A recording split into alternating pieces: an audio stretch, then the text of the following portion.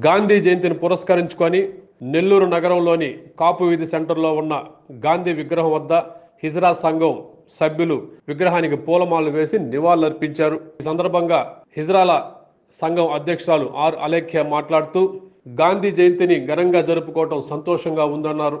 జిల్లాలో మంచి కలెక్టర్ అలాగే మంత్రులు మేకపాటి గౌతమ్ రెడ్డి అనిల్ కుమార్ యాదవ్లు అభివృద్ధి వైపు దృష్టి సారించి నెల్లూరుని ఎంతో అభివృద్ధి వైపు నడిపిస్తున్నారని ఇలాంటి మంచి కలెక్టర్ మంత్రులు మన జిల్లాకు ఉండడం మనం చేసుకున్న అదృష్టం అన్నారు.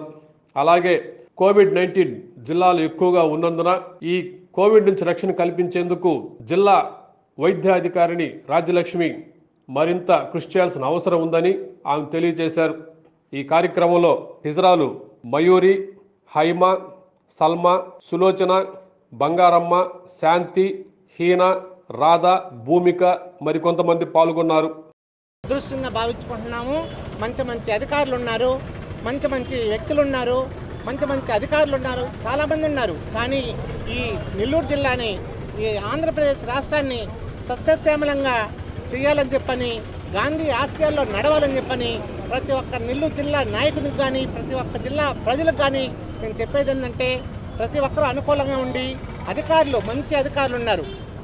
సో మొన్న ఈ మధ్య బల్లి దుర్గాప్రసాదరావు గారు మన మరణించడం అదొక అదొక వార్త.